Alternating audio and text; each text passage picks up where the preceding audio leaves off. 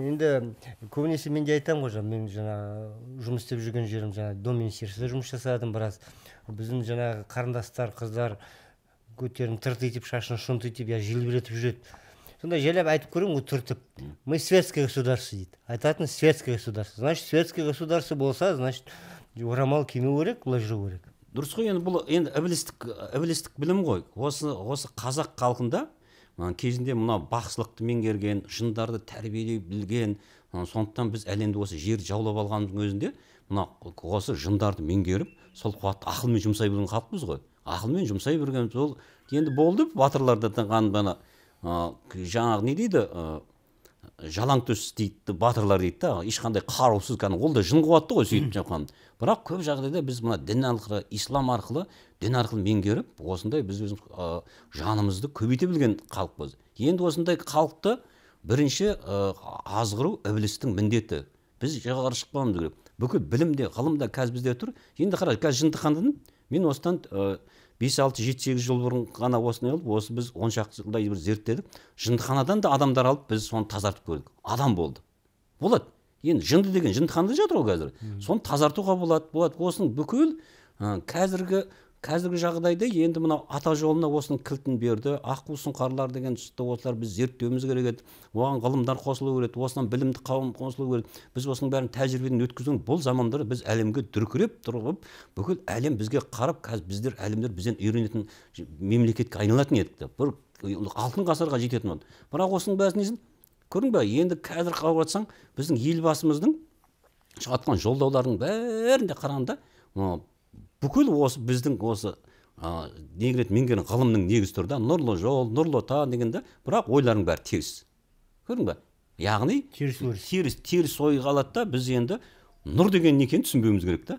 Нұр құранмен байланысты ол нұр жанмен байланысты екен. Нұрлы жол деген нұрлы деген алланың тура жолы ғой енді. Соны біз ана жеті нұрлы жол деген қазір кемпір қосақ шыққан кезде көрінеді. Біз соны түсінбеу керек. Біз қара жерге не қылуымыз керек. Онда ібіліс солай салады да ана ғұламалық философтардың өзі қазір теріс осының ішіне олардың ішіне пері кіріп алған да. Пері кіріп алған. Енді осыны енді мына көбісі ә, біздің неден біздің масқаптық мына біліміміздің өзі сол сондармен байланысты жындармен байланысты. Бізге қалай да біз жынды бөлек құбылыс деп түсінуіміз керек. Бұл өзімізде біз ішімізде жынды екенімізді мойындамауымыз керек. Біз өзімізді әулие санауымыз керек та. Біз намаз оқысақ болды біз әулие болып кеттік болды. Бізде жын жоқ бізде анау жынды меңгеру оның нәпсін меңгеру оның тәсілдерін меңгеру меңгермеуіміз керек. Ана жоғалту керек қазақтың дәстүрін қалай да. Ол да иблистің енді іблістің жобасы ғой. енді күнделікті қазір осыны уағыз солай айтып жатыр да сендер дейді ол жын деген ол бөлек өмір сүреді адам деген мен жынмен байланыс жоқ деген. Жын адам өзі ойлау есту көру қажет біздің нәпсіміз соның бәрі жын шайтан екенімен біз шаруамыз жоқ оны ұмыта бастадық. Кеше саған бір тікелей сұрақ қояйын. Сіз өзіңізді дұрыс санайсыз да? Неге? Жоқ. Мына қараңыз мына мұсылман жындар бар деген иә? Мен өзімді мұсылман жынды жынға санаймын себебі менде жындылық мен өзімді өзім абай атамыз айтқан сен өзіңді апта, апт, аптасына бір рет болмаса айына бір рет өзің тексеріп отыр деп. Мысалы мен күніне өзім тексеріп отырамын кейде мен біреуге жындылық сөз айтып қоямын байқамай. Көрдің ба? Ашу келіп қалады а, сосын енді менде қазір мысалы әйелге деген менде құштарлық бар. Көрдің ба? Ол енді адамдық енді ол қай жақтан ба? Жыннан пайда болмаған қайдан болады менің жыныстық қуатым бар ғой. Яғни менде жынды тек қана яссауи бабамыз алпыс жасқа келгенде айтқан мен ә, нәпсіні балтамен шаптым деген. Яғни жын қуаттың бәрі менде енді жын жоқ деген сөйтіп барып жердің астына кірген. Мен ондай дәрежеге жеткен жоқпын. Қайта мен керісінше мен сол ана жынымды сол пайдалануға тырысамын. Сол алладан қайта сол қуатты көбірек меңгеріп тоқсанға келген кезде неге мен ұрпаққа үлгі қалдырмаймын? Неге мен өзім орқым тағдырым? Сондықтан бұны жын деген сөзді қорқынышпен қабылдауға болмайды ол құранда тұрған періште ғой. Біз қазір осыны халыққа қазір біз керісінше біз қорқытамыз анадан да қорқытамыз мынадан. Тіптен анау тұр қара енді. Мынандай бір бір мысал не әр нәрсені адам өмірден алу керек та көн мен көп жағдайда анау бір пәлен әулие айтыпты түген әулие айтыпты деген кезде шәкәрімізде пайғамбар айтты деді күмәнмен қара деген да. Мен соны күмәнмен қараймын да өйткені сосын алладан сұраймын осы рас па деп көрсет маған деп. Ол қалай болады деп. Сонда абай атамыздың мынандай несі бар? Көрсең қатын ойнасаң сен де сондайсың деген. Сосын мен ойлаймын абай атамыз кезінде халықтың мына әйелдеріміздің тақуалығы деген жоғары болды. Ондай қалай ол? Абай атамыз оны не себепті айтты екен деп сөйтсем мына қазір әйелдеріміз қарайды.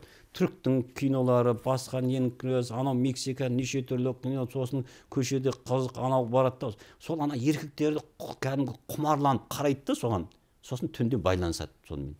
Түнде жын болып келеді ол. Жын болып келеді да иә түсінде кіреді да сонымен зина жасайды мінекей. Осындай жағдай болды. Енді бір жағдай болды. Мына пері деген енді. Қазір қыздарымызды біз албастық өмір сүргізіп жатырмыз да. Олардың бойларының көлеңкелері ә, енді қанша уақыт деген енді бес жылда ма үш жылда ма әр адамнан өзі көлеңкелері бөлініп тұрады. Энергетикалық түрде біз көреді ол тылсымға кетеді. Ол сонда біздің ақпарат тұр, тұр. Біз мысалы бала кезден кейде ұмытып қаламыз ғой. Бала кезден бастап бүкіл нелерімізді не- бір уақыттарда қиындыққа түскен кезде есімізге түсе қояды. А мен мына жағдайда мындаймын мына естіген не? Естіген біздің бой көлеңкемізбен сол ақылымыз бө- бөлініп отырады бөлініп отырады сосын құранда айтқан баланы екі жасқа дейін емізге қырыққа келгенде ақылдады ә, сосын ақылын жұмсамағанда азап беремін деген. Қырыққа келгеннен кейін біз енді кейін қарай біз тоқтайды болды.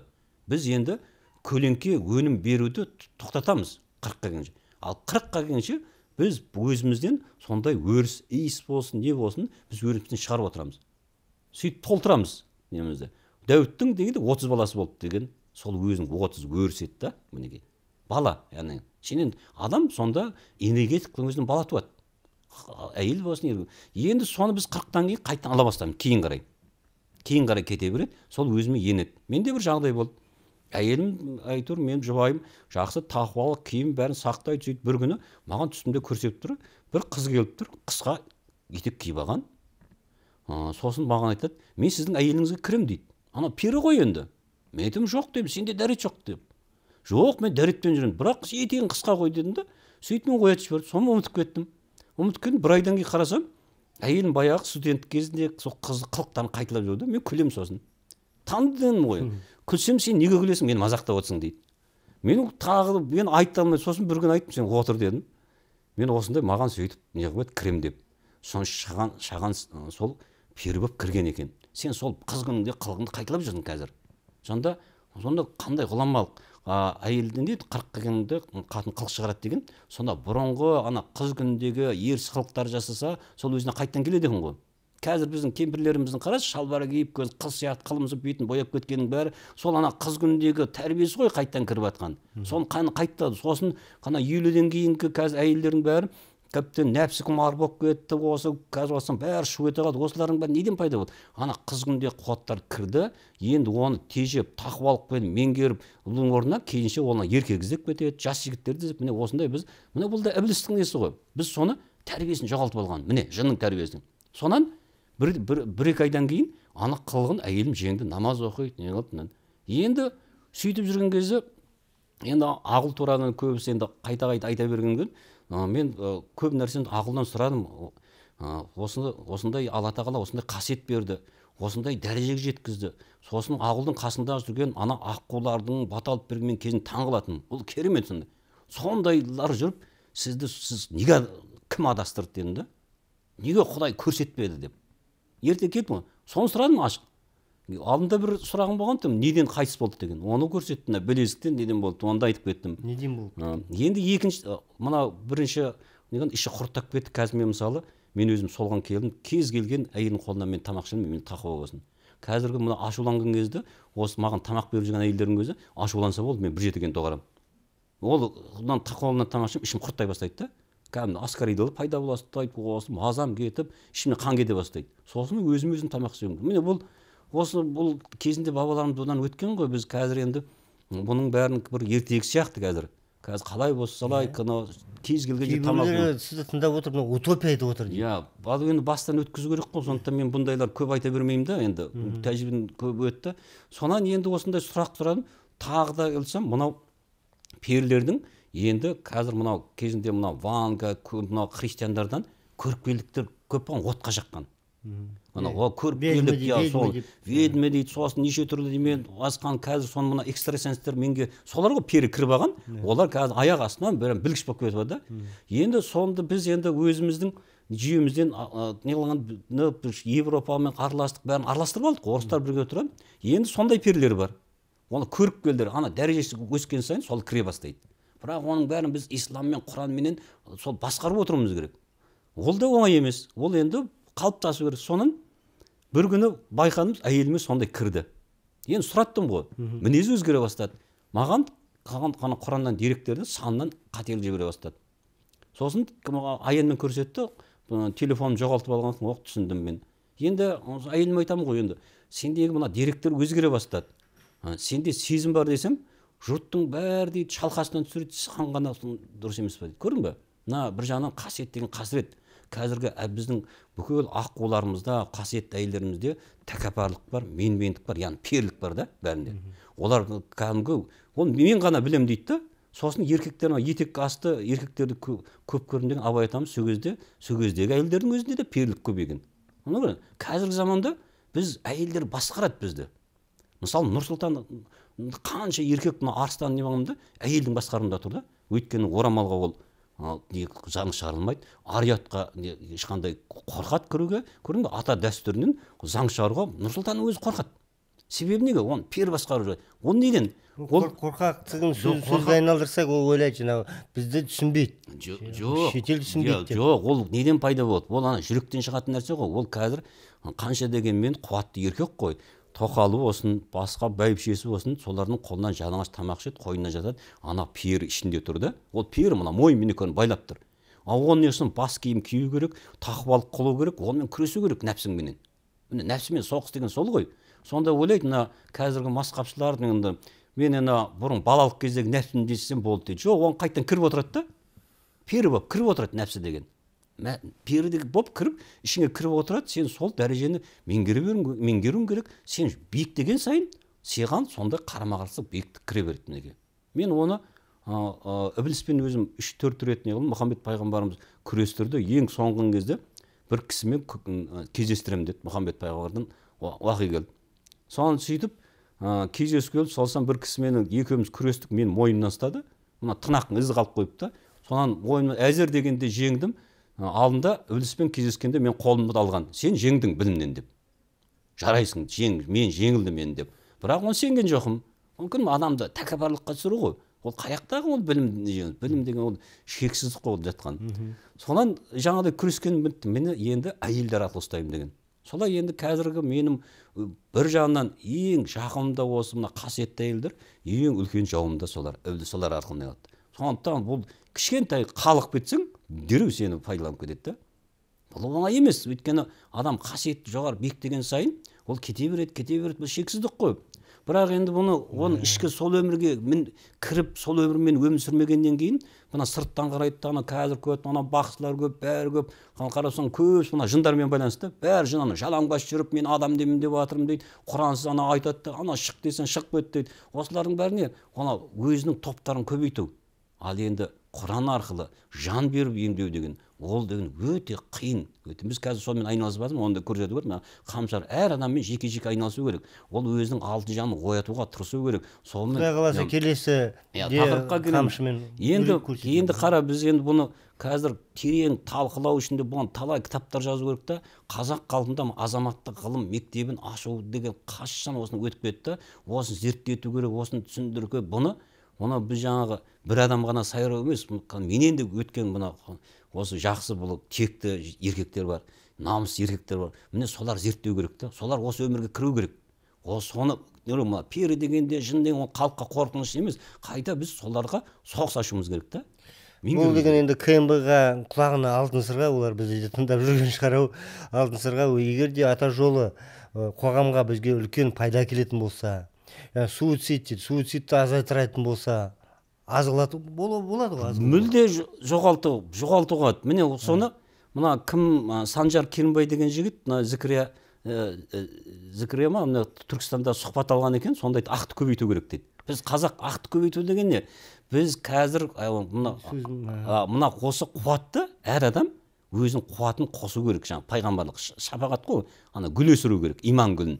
Сонда қуат қосқан сайын біз отанымызды тазартамыз. Біз осы не қыламыз? Әрбір әрбір әрбір адамды түс көру болу керек та. Түс көрмейтін адамды ол енді сенде иманың жоқ деген ұғымды қалыптастыру керек та. Сондай жағдайда әр адам түс көруге тырысады өзінің тағдырына жалғануға тырысады да. Әділдік сонда пайда болады да. Ал қазір қараңыз анау жалаңбоз кесе неғыпты масқапты ғалым біз төрт ғалым не қылды? Енді болды салафиттер бәрі құлақ болатын болды деп мақтанып жатыр да. Қарасаң сол ғалымдар жартысы жалаңбас отыр да. Бүкіл неден бар. Ал жалаңбас адам аян көрмейді ешқашан да. Мінекей қазір назарбаевтың біз елбасының қателігін өзі жалаңбас жүріп өзі айынан жобасын айырып қалып жүр да. Әйтпесе оны көретін болса халықтың тағдырын қайда баратқанын көрсетер еді да. Дұрыс шешімге келтірер еді. Қазір осы парламент осылар тақуалық жасап жалаңға жалаң мына басын қорғап мына миын тазартатын болса мынау екі мойынды ажырататын болса перден жүрекпенен ми мен жүректің екі ортаның қатынасты түзейтін болса иман арқылы. Ол кезде біз мынандай жағдайда келмес едік та мынадай шешімге келмес едік біз біз қазір қандай шешім? қазір көрдіңіз ба мынау әлемдік неге байланып тұрмыз да жүйеге? Біздің қандай заңымыз болсын біз әлемдік стандарт шығарып қойған жындардың стандарты бар өркениет мемлекетпіз. Ол біз өркениеттің не екенін білмейміз. Өркениет деген алтын ғасыр адамзаттың бірлігі сүйіспеншілік. Біздегі барлық заңымыз заңымыз керісінше адамдарды араз қылуға айналдырған да. Қазір қарап отырсаң мінекей елбасымыз шығарды енді халық мына парламент өздерің басқарыңдар дейді да. Енді партия құру керек болды да. Бес жүз адамнан болса партия құрайық деп. Партия деген не? Мінекей сен 500 адам жинап аласың маған қарсы шығасың. Мен айтамын айболаттікі дұрыс емес деймін. Сонда айналып келгенде бүкіл қазаққа керекті бір он нәрсе болса сол он нәрсені он партияға бөліп аламыз да сосын аламыз да бір біріміз қырық пышақ боламыз да. Қалай да әйтеуір біреуміз биікке шығуымыз керек. Мынау бұл қазір қандай болу керек? Бізде партиясыз мемлекет құруымыз керек. Біз азаматтық баяғы ақсақалдар жүйесіне көнуіміз керек. Бұрынды бұрын билерді кімдер сайлайды? Ауылдың ақсақалдары сайлайтын еді ғой. Кезінде бір рубасылар сайлайтын еді ғой. Біз сол жүйеге қайтадан келуіміз керек та сонда халық мысалы бір ауылдан өздерінің ақсақалын сайрап сол барлық дауысты соған неге бермейді?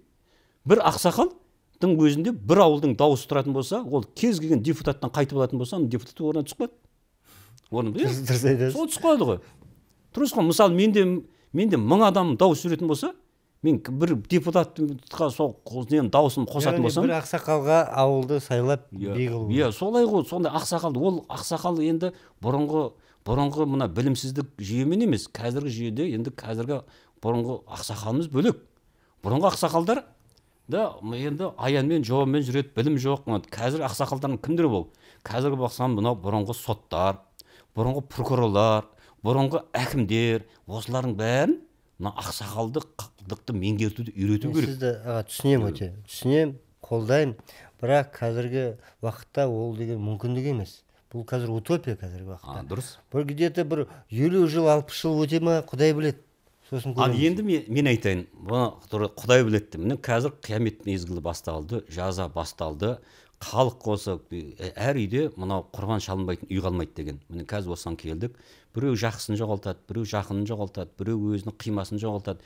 Құлы алланың азабы басталды. Міне келесі ертең ақпан айынан бастап мына жаңбыр жауады тағы неше түрлі ауа райы бастады. Жұрттың бәрі аласапыран түседі біреу мешітке намаз оқуға жүгіреді біреу ата жолына кіреді жүгіреді бірақ айналып келгенде құдайды іздейді да халықтың бәрін қазір біздің осы мемлекетіміздің қорған жүйесі несі қайта ығыстырады. Біреулер барып мына тарихатқа құрбанәлі ишанға барып қол тапсырады. Қол тапсырады да сосын ойлайды бәрі құдайға. Бірақ алланы танитын жүйенің бәрі жабық оның бәрін ібіліс жолын жауып тастаған міне міне осыған келеміз аласапыран амал жоқ енді не істейміз енді? Бұрынғы мына өзіміздің еміз кезінде аты сен қалай естің әкең қалай өсті атамын әруақпен аян арқылы жақсылыққа жеттің ғой. Сол жүйеге келді енді оны енді бұл жерде былай басталды да бастағы ібілістің жобасы ата жолын мүлде жоғалтып жіберу керек еді да. А, бұл жала жапты бұл садақадан күн көріп жатыр анау деді мынау деді бүкіл қазір біз тілшілер ғалымдар кәдімгі телевизорден ең үлкен үлес қылған мына қазір нұр отан партиясы құлмұхамбет еді мен қызылордада жүрген мен кітабымды сол кітаптың қазір жиырма отыз есе жаздым. Сол кітапты кнблер жапты дүкендерден аластады күнде телевизордан ақыры өзі тікұшақтан құлап аман қалды елбасымыз аман алып қашып кетті ол жерден алып тастады ол тұр ғой енді. Қорқыныш сол кезден басталды да сол кезде мына әруақтардан жауап түсе бастады. Сол сол мына тікұшақ құлаған құлмұхамбет неған сол кезде жауап бастаған. Енді сөйтіп ескерту кез келді жауап беру өртпен неше түрлі немен мынау қаншама шымкентте құлады. Осылардың бәрі әруақтардың жауап еді да құдайдан сұрап жатқан. Енді ашық жауап басталды. Әрбір сөзге әрбір іске жауап басталды. Қайда тығылады? Айналып келгенде ата жолын жоғалта алмады мінекей аз да болсақ осы бізден де басқалар барса біз құранның үнін сақтап қала алдық. Біз осы мына құдайға жалғаның жүйесін сақтап қала алдық. Біз иә иә қазақтың осы мына ділін қалай көбейту керек жанды қалай қалай көбейту керек? Адам өзін өзін ешқандай дәрі дәрмексіз қалай емделуге болады. Тіптен мынау жындыханадан жынды алып тұрып соны емдеуге болатынына дейін сол белгілерін алды. Сосын және біз табиғатты мысалы жаңбыр жаудыруға болады желді тоқтатуға болады дегенде солардың белгілерін алып алдық берді. Бірақ енді мен осыны сұрадым енді. Рамын ол алла тағала бізге осындай қаншама хикметтерін белгілерін бердің. Біз осы неге көрсетіп біз осы ата жолын біз неге көтермейміз халыққа әлемге біз неге танытпаймыз деген кезде сол кезде маған жауап келді. Қайда асығып барасың деді. Артындағылар шаң қауып қалады деді. Яғни қазір ол маған берген бергі ғой. Барлық аурудың шипаның кісін бар бер бірақ соның бәрін мен емдеймін соның бәрін ол ақымақтық та. Маған оның бәрінің керегі де жоқ тіптен маған осы берілген жазылған осы қырық тоғыз кітап жасасын тылсымның мың есігін ашасың деген сол аманатты орындап шықсам мен соның өзі дұрыс өмір сүргенім болады да. Мен қазір осыны осы қазақтың текті мына ар намысты еркектеріне соны үйретуім керек соның батасын беріп соны үлестіруім керек. Солар менен егер де сондай шәкірттер шықса біреу жаңбыр тоқтататын біреу қылатын біреу осындай мына қазір біз аққуларды дайындап жатырмыз бізге несі мына жоғалып кеткендерді табатын оның да несі бар екен. Көрдің бе? Әр ненің мамандығында әр осы руда әр текте өзінің бір ерекше қасиеттері бар. Сол ерекшелігіне байланысты бізді қасиетті бір біріне ұқсамау керек. Қазір бәрі қарап отырсаң бәрі бір текті. Ана құраннан не қылады да бір бата алып берсе болды керемет ол аққу дейді ол батасының өзі жартысы өтірік қазір. Жақсы аға. Енді қорытынды сөз осы тақырыпқа тақырыбына айта кетсек біздер яғни біздің ең бірінші жауымыз жын шайтан яғни иблис екенін ұмытпайық ағайын дұрыс па сол? Жоқ біз бірінші ә, бірінші жауымыз біздің мына білім менен ілімсіздік. Білім мен ілім екі ортасын таба алмасаң білім дейді ғой. Біздің ең үздік жауымыз біз мына ақыл туралы білім жоғалтып алғанбыз бір. Сондықтан біз ә, жындымыз да біз шайтанбыз да бірақ біз бәріміз ана жынсыз шайтансыз әулие болмай жүрміз да. Әулие біздің бабаларымыз болған тақуа болған әулие болған таза жанды болған. Біз қазір жансызбыз.